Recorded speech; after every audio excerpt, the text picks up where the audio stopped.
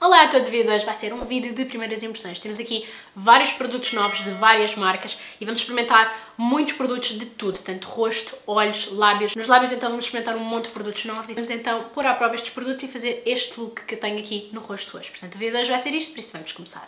Ora então, comecemos. Isto não é bem primeiras impressões, mas eu acho que ainda não mostrei aqui no canal, portanto, hoje vamos ter incorporado aqui nestas primeiras impressões de vários produtos.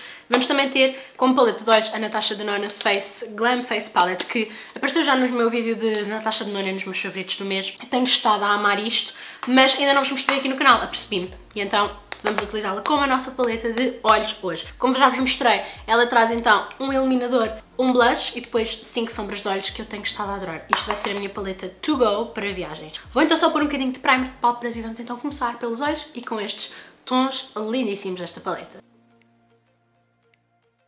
Aplicar este, estes dois misturados na arcada e depois este na pálpebra toda. Vou pegar no castanho mais escuro, que é o Smoke, e vou pôr na pálpebra toda. Vou só deixar um espaçozinho sem nada aqui no canto interno, porque vou querer pôr um dos dourados.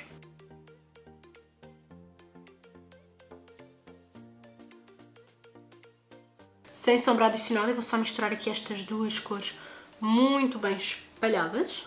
Este é tipo Smoky Eye, castanho mate, muito fácil de fazer. E agora vou pegar num dos dourados, eh, mais neste inner corner, vocês têm este mais escuro e este inner corner, vou no mais claro e vou pegar aqui com o meu dedo mindinho e vou pôr aqui no canto interno. Não vou pôr já para baixo, para a linha das pestanas, porque ainda tenho que corrigir a olheira, mas a ideia depois é tipo fazer assim tipo um raiado também em baixo, ok? Agora, quero experimentar o eyeliner. Uh, eu fui esta semana ao evento da Sephora, o evento de Natal da Sephora, e eles deram-me um saquinho com alguns produtos para experimentar e então decidi incorporá-los aqui neste vídeo. Nesse saquinho vinha o eyeliner da marca da Ram Beauty, a marca da Ariana Grande. Ram Beauty, a malta desse lado, quando eu digo Ram, Ram Beauty, acham que estou a dizer Rare Beauty, calma. Ram, é só porque é assim que se diz. Este então é o eyeliner no tom Midnight Black. É um eyeliner preto, basicamente assim, e é em caneta, assim com este pincel. Portanto, bora lá experimentar. Eu quando fiz aqui o vídeo a experimentar produtos da Ram Beauty, não experimentei o eyeliner, portanto hoje é uma boa oportunidade para experimentarmos. Eu tenho feito este look sem eyeliner, mas acho que não vai ficar mal utilizar aqui um eyeliner preto. Bora lá então, eu normalmente começo sempre pelo meu olho pior e vamos ver como é que este eyeliner funciona.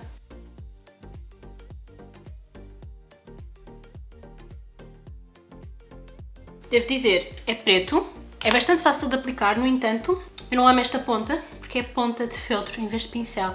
E eu sinto que a ponta acaba por ficar muito molinha, acaba por não ser tão firme quanto eu preciso. E acho que com o tempo vai acabar por secar, que é o meu problema com as pontas de feltro. Mas não achei uma má fórmula.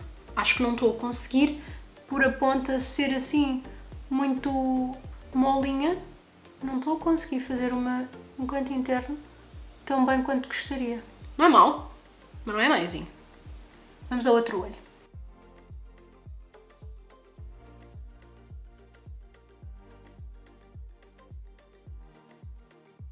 Não estou a maior fã deste eyeliner. Ariana Grande, I'm not in love. Not in love. Ok, vou tirar tudo o que tenho aqui por baixo com uma toalhita, que eu pus aqui, deixei cair aqui um bocadinho de sombra para baixo. E vamos experimentar um novo primer de máscara de pestanas da Too Faced e uma nova máscara de pestanas da Paco Rabanne. O que, é acontece? Este primer da Too Faced é o Better Than Sex Foreplay Instant Lengthening Lifting and Thickening Mascara Primer. O que me explicaram lá no evento é que este primer de máscara de pestanas não é daqueles brancos que normalmente pomos por baixo das máscaras e temos que deixar que eles sequem e fiquem meio transparentes. Este, ao contrário dos brancos que estamos habituados, este é logo preto. Tem uma coisa muito boa que foi que eu fiquei mais uh, curiosa, é que para além de, obviamente, dar aquele efeito mais volumoso às pestanas e se vocês aplicarem uma máscara de pestanas por cima ainda fica mais dramática, este primer uh, ajuda as coisas, pelo menos foi o que me disseram lá, ajuda todas as máscaras de pestanas a que vocês ponham por cima, fiquem de longa duração, ou seja, eu não sei se é a prova d'água ao certo, porque eu tenho a ideia de me terem dito que ficava à prova d'água, agora vendo aqui na máscara de pestanas não diz à prova d'água, não diz que fica à prova d'água, mas diz que faz com que a máscara de pestanas fique a durar mais do que 24 horas, portanto, à prova d'água ou de longa duração, pá, funciona bem para mim. Vem então assim.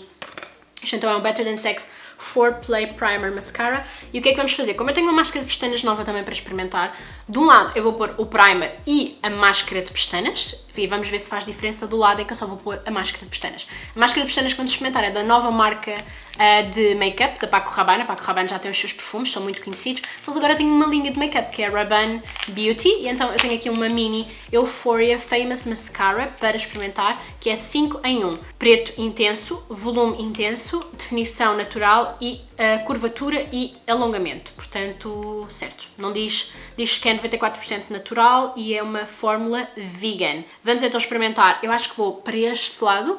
Vou experimentar com o primer e com a máscara e deste lado fica só a máscara e vamos ver. Óbvio que eu tenho eyeliner, portanto não se vai ver assim tão bem quanto deveria. Idealmente eu experimentaria isto sem eyeliner, porque obviamente o eyeliner tapa um bocadinho uh, o nosso tamanho das pestanas, porque está tudo preto. Mas vamos experimentar e vamos ver se vemos alguma diferença. Portanto vou começar com este deste lado. Então temos deste lado o primer aplicado. Vou passar já ao outro lado enquanto o primer seca. Isto estava difícil de abrir. Enquanto o primer seca vou então à máscara de pestanas da Rabanne Beauty e vou aplicá-la deste lado. A escova faz-me lembrar, sabe o quê? Curiosamente faz-me lembrar a Better Than Sex da Too Faced. Tem aquela escova mais tipo pelo natural e ampulheta, que eu normalmente gosto muito porque dão imenso volume. Vamos então aplicar deste lado. Ainda só pus a primeira camada, mas estou com mais intensidade e volume do lado do primer, que é um primer, do que propriamente do lado da máscara de pestanas. A máscara dá efetivamente muito alongamento e muita curvatura, mas volume uh, praticamente nem vê-lo. As minhas pestanas estão fininhas, fininhas, fininhas. Isto é para quem gosta daquele efeito, pestanas muito finas, muito separadas, mas longas e compridas. Uh, longas e compridas é a mesma coisa, longas e curvadas. Estão mesmo muito, muito finas, volume praticamente nem vê-lo. Isto não está a dar de todo o que eu esperava. Principalmente porque ela diz que é 5 in 1 volume, mas high volume não tem. Well, that's a disappointment. Ok, do lado em que tenho a máscara de pestanas está muito fraquinho. Vou aplicar do outro lado com o primer e vamos ver se a coisa melhora um bocadinho. Acho que, mesmo com o eyeliner, vocês conseguem perceber que a diferença é abismal de um lado para o outro. O eyeliner está a começar a separar nas pontas, portanto o eyeliner não é grande cena. A máscara de pestanas deste lado, sem o primer, tipo, que diferença. Até no viewfinder eu consigo perceber a diferença gigantesca que fez o primer. Tenho aqui estas duas um bocado coladas, mas a culpa foi minha. Uh, não, já estão melhores. Pronto, uh, sem dúvida que o primer faz uma diferença abismal, principalmente nesta máscara de pestanas que já por si é um bocado fraca. Não gostei da máscara de pestanas e pá, sinceramente, it's a no for me. Com o primer, tudo bem. O primer parece-me muito bem, quero muito experimentar com outras máscaras pestanas. Passemos para o rosto. Tenho aqui da Herborian para experimentar o CC Red Correct. Este CC Red Correct da Herborian, não sei ao certo se vou precisar de pôr uma base por cima disto ou não. Ele sai assim, verde. Vamos ver o que acontece, porque eu não faço ideia se vou precisar de pôr a base por cima disto ou se sozinho tipo, vai aperfeiçoar a pele o suficiente para o que eu preciso. Uh, mas bora lá experimentar. Vou aplicar mesmo com as mãos para ver o que acontece. Ok, isto tem sim cobertura. É tipo CC Cream, cobertura assim ligeirinha. Engraçado, porque ele vai buscar mais ou menos a nossa cor. Claro que isto é uma cor standard, só vai dar provavelmente para as peles mais clarinhas, nunca vai dar para peles muito escuras. Uh, mas é engraçado, foi buscar uma cor fixe para a minha pele. E ele aperfeiçoa e reduz aqui a vermelhidão que eu não tenho muita, mas tenho um carinho. E nota-se aqui nas maçãs do rosto que realmente ele neutraliza esta vermelhidão. E é muito engraçado porque ele sai tipo esverdeado. Gosto muito da textura. A textura é muito, é muito tipo Airborne CC Cream, o clássico. Muito hidratante, muito luminoso, muito cremosinho e muito fácil de espalhar. A textura e a cobertura são fininhas e ligeiras, sem dúvida.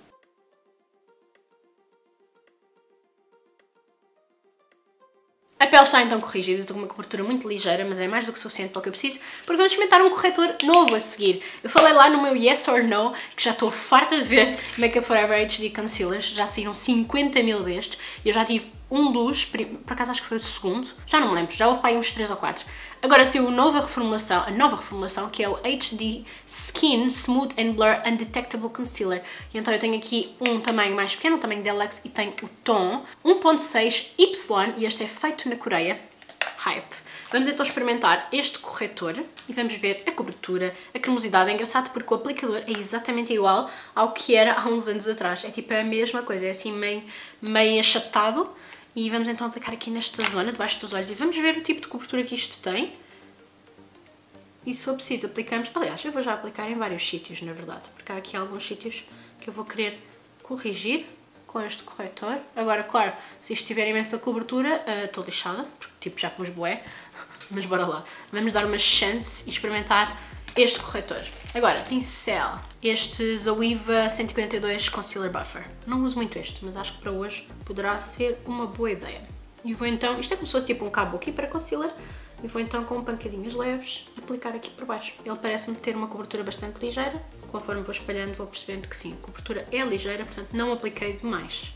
O que é bom, muito cremosinho.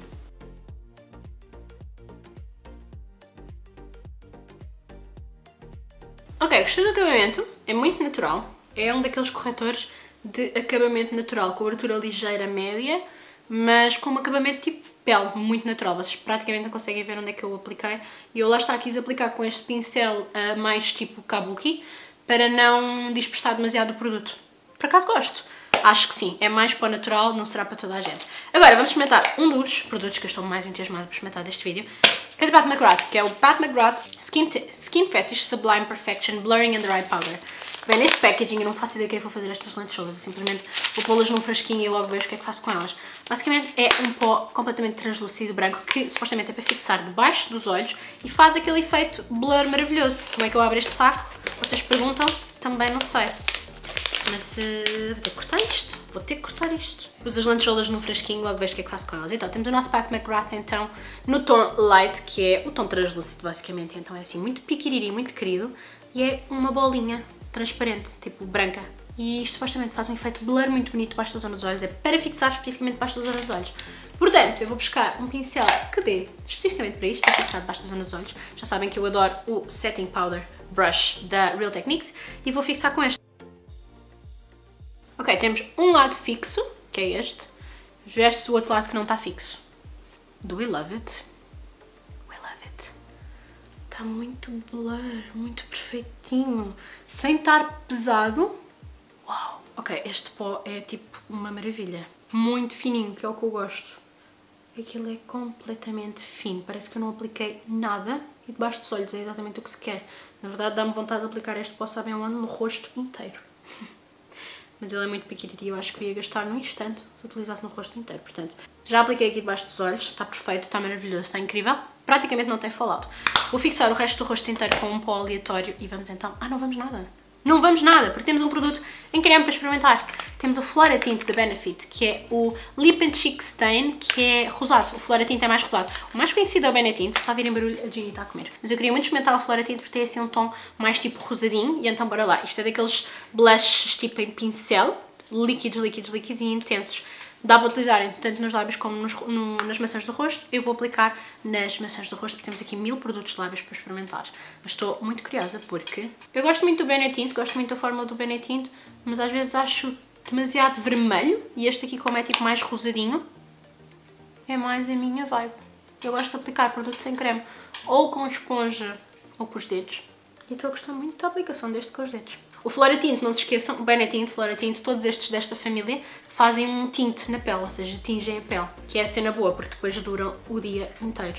Muito natural. Claro, eu tenho aqui um, um resto de borbulha e ele foi logo cravar o resto da minha borbulha, mas bem, no problem. Agora, vou pôr, como não tenho tipo produtos novos para aplicar de rosto, vou aplicar um bronzer, um bocadinho de blush em pó também por cima deste e vou pôr o iluminador aqui da minha Star, Glam Star Palette da Natasha Denona, vai ser este iluminador, e por fim passamos para os lábios. Ok, vamos terminar os olhos, vou fazer a mesma sequência de cores em baixo, vou buscar as cores da arcada com o mesmo pincel que eu utilizo na arcada e vou pôr aqui nesta zona, dos dois lados. Este é exatamente o mesmo pincel que eu utilizei na arcada. E agora vou buscar o pincel que usei na pálpebra toda, tentar aqui unir na ponta, parte de baixo com a parte de cima, gosto sempre de fazer isto, principalmente nos meus olhos. E agora com o pincel este aqui é o língua de gato que utilizei. Vou buscar a sombra mais escura, o castanho mais escuro, e vou pôr junto para criar raízes pestanas, mas só no canto interno. Aqui eu só quero desde o canto interno até tipo meio do olho, mais do que isto não. E por fim, com o meu dedo mindinho, que vai muito bem aqui esta zona, vou buscar o tom, aquele douradinho, e vou pôr aqui em baixo também. Este dourado é tipo intenso, é tão bonito. Tão, tão bonito. Por fim, temos lábios. E eu tenho aqui imensos produtos que eu quero experimentar convosco nos lábios. Eu quero terminar com algo bem juicy, bem brilhante e bem glossy. Portanto, vamos acabar com estes da Tarte. Estes Mary Maracuja, estes uh, Maracuja Maracujá, bem, whatever. Estou farta de ouvir Maracuja, mas é maracujá. Estes são os All-in-One Balm Volumizing Lip Duos. Tem de um lado o Plump e o do outro o Juicy Lip. Tem acabamento glossy e temos então duas cores. Temos a cor Honeysuckle no Plump. O Plump faz aquele efeito mesmo Plump, preenchedor de lábios. E do outro, no Juicy Lip, que é o mais glossy, temos o tom Hibiscus. Vamos acabar com estes, mas primeiro vamos experimentar estes NYX Smooth Whip Matte Lip Creams. Eu já andava para experimentar estes novos Matte Liquid Lipsticks da NYX há bem da tempo, portanto vou experimentar estas três cores convosco. Esta cor não é para mim, pois não? Acho que podemos todos concordar que esta cor não é para mim. Eu vou aplicar só para propósitos deste vídeo. A textura é muito estilo soft matte, lip creams da NYX, mas com mais pigmento. Mais cremosos também, mais estilo mousse. Esta cor, no entanto, não é a minha vibe. A cor é péssima em mim. Péssima, péssima, péssima. Este primeiro, este Cheeks, é tipo mega não. Bora lá então passar ao vermelho. Ok, este vermelho é muito bonito, é tipo Fire Red.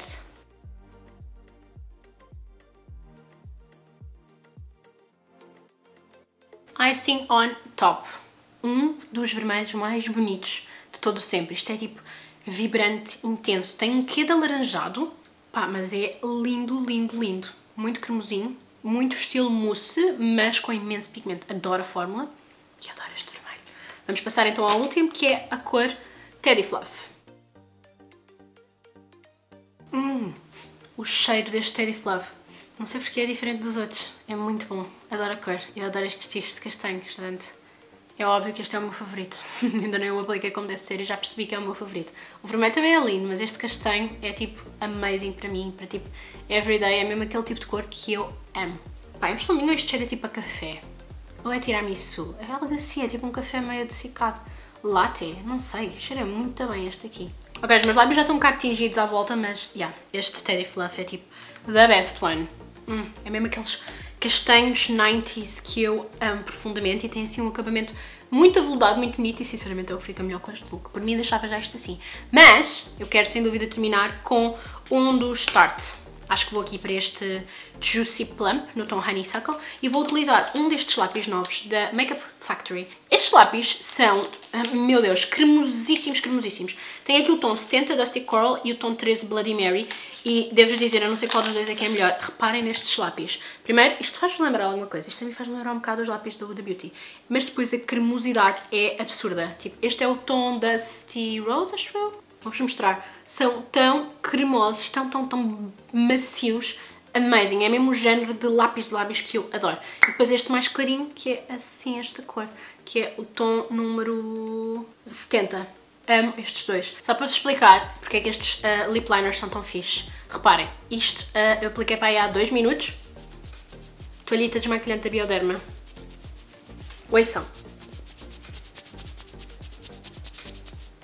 Tipo, é bué difícil tirar estes lápis lábios, têm uma duração absurda. Eu estou aqui tipo a esfregar, a esfregar, a esfregar e são difíceis de tirar. E estas toalhitas da Bioderma são ótimas, retiram maquilhagem à prova d'água e tudo. Portanto, só para vocês verem o quanto isto dura depois nos lábios. Vou aplicar então o mais clarinho, o tom 70 e depois pomos o Juicy Lip Lamp e fiquem então os lábios terminados.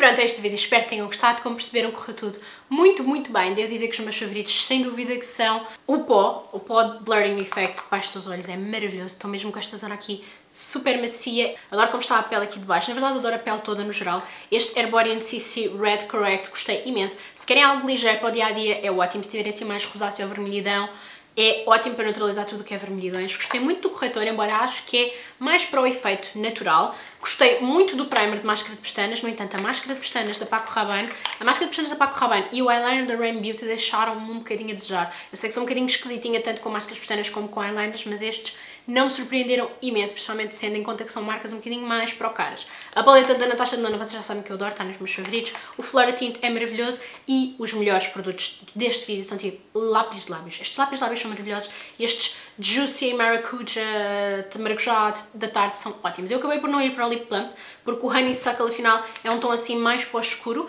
Eu achei que era mais claro, não sei porquê. Então acabei por ir para o Juicy Lip, que é este aqui, que é no tom hibiscos, que é mais rosadinho e deixa assim lábio super glossy, super hidratado, super juicy and moist amo profundamente. E dos Smooth Whips, sem dúvida que o Teddy Fluff é o meu favorito, mas o vermelho também é maravilhoso. Correu tudo super bem, super boas primeiras impressões e espero muito que tenham gostado do vídeo. Não se esqueçam de dizer em baixo nos comentários se têm algum produto que querem muito que eu teste aqui no canal. Digam-me que eu estou sempre pronta para experimentar coisas novas e espero que tenham gostado do vídeo. Não se esqueçam de subscrever e partilhar o canal e até o próximo vídeo.